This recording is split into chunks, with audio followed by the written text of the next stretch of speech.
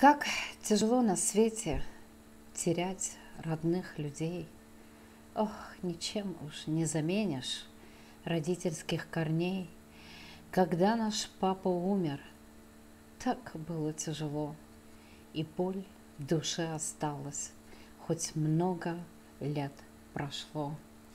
Добрый вечер, мои родные, добрый вечер, дамы и господа. В первую очередь хочу извиниться за то, что не смогла прилететь, но знайте, сердцем и душой я с вами. Я с вами, мои родные, мои дорогие. Воспоминания, память о моем благородном, прекраснейшем отце. Хочу начать с того, что человек – это высшее создание на земле. Если мир – освещается солнцем, то человек прежде всего его делами и поступками. И это с гордостью я могу сказать о нашем добром, славном папочке. Наш мудрый, красивый, благородный папа в 19 лет получил высшее образование по специальности химик-биолог. И я помню эти счастливые дни – где я, маленькая девочка, ходила к нему на работу, с большим вниманием и радостью слушала, как папочка преподает, а я, сидя, гордилась, что только у меня такой красивый и умный папа. И еще помню, папу любили все без исключения за его чуткость и внимание, за его профессионализм и нравственную чистоту – за готовность оказать бескорыстную помощь ближнему и чужим. Папа всегда отличался оптимизмом, развитым чувством юмора. Папа почитал родителей и очень-очень любил семью. Папа очень любил нас и воспитал нас с достойных сыновей и достойную дочь. Мы с гордостью несем имя Гулькаровых.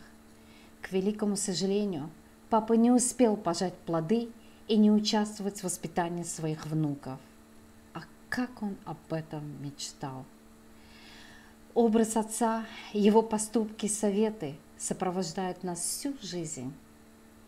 Мы постоянно чувствуем его образ рядом с собой, сверяем жизненные поступки с его указаниями. В нас течет его кровь работают его гены, часть его души. Не могу оставить без внимания нашу дорогую любимую мамочку. После смерти папы полностью посвятила себя детям. Наша дорогая мамочка поставила всех на ноги и помогла каждому создать семью.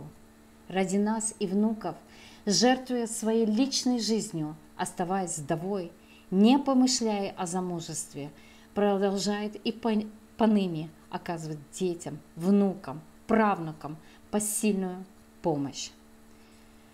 К сожалению, судьба нас раскидала. Двое из моих братьев и я, мы живем в Соединенных Штатах Америки, а трое живут с мамой в Израиле. Горжусь своими братьями, их женами – их детьми. Каждый, без исключения, несет имя Гулькаровых с достоинством. Большому несчастью и неутешному горю наш Бенеминчик неожиданно в 1998 году скончался, оставив прекрасную молодую жену и троих детей – Время бежит, и вот уже 40 лет, как нету нашего папочки, и уже 17 лет, как нету нашего Бенеминчика. К сожалению, этих два прекраснейших человека, даже могу назвать их две звезды, светят ярко над нами – и нету их с нами. И не важно, сколько лет пройдет, и сколько еще пройдет.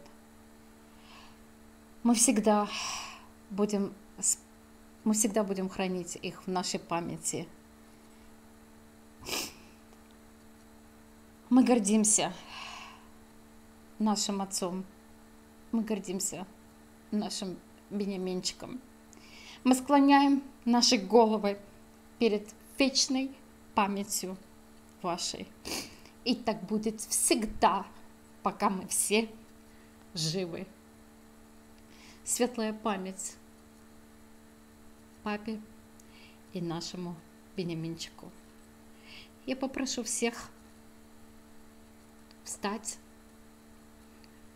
и дать дань памяти папе и Бен минутой молчания.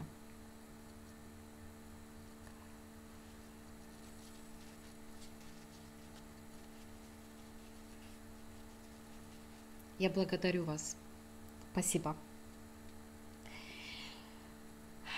И хочу закончить красивыми стихами, посвященные папе и Бене. Папа и братик ты мой, наш дорогой. Лишь там, а мы все здесь. Идут года, уже и внуки, и правнуки вырастают без вас. Не лечит время от разлуки, и в наших душах ваша звезда. Пусть земля вам будет прахом. Вечная память.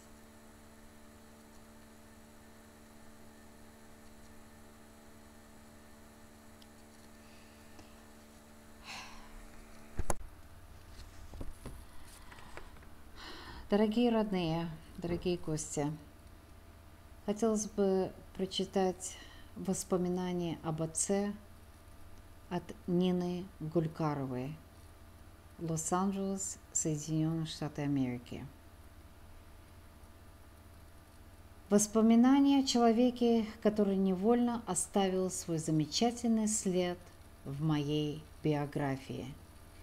Это было в Бухаре – 1966 году. Я, будучи молодой мамой со своей дочерью, которой на тот момент было меньше двух лет, попала в Бухару из Ташкента. После сильного землетрясения по гарантийному письму на три года, пока Ташкент будет способен обеспечить квартирами всех пострадавших, все мои родственники по линии матери и отца, жившие тогда в Бухаре, откликнулись помочь мне – Самой большой, значимой для меня целью было устроиться на работу учителя математики в школу.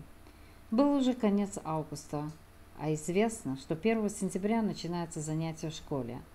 На мою просьбу по трудоустройству Горано Бухары ответила коротко «Мест нет».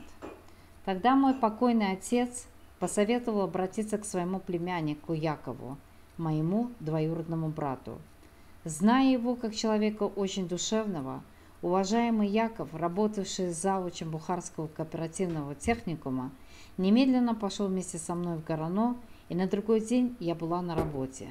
Более того, он перевел своего старшего сына, который в то время учился в девятом классе в эту школу. Мой двоюродный брат, несмотря на занятость, держал меня в поле зрения, интересовался у сына, все ли в порядке – постоянно приглашал вместе со своей замечательной женой на шабаты. Эти шабаты нельзя забыть. Стол наполнен яствами, приготовленными прекрасными руками уважаемой Тюдоры, в кругу всех детей, которые вместе с отцом читали шабатные молитвы и пели песни, посвященные этому. Как же это гор горестно, когда такие люди, как Яков Исакович Гулькаров, не доживают до старости – не додав сполна любви своей семьи, не успев принять участие взрослении и воспитании детей. Он был для своей семьи как солнышко, высокий красавец, умница, образованный, с чувством юмора. Память о нем, как о прекрасном человеке, не сотрется не только из моей памяти. Современным людям есть чему поучиться у таких людей, как Яков Гулькаров. Вечная ему память. Спасибо.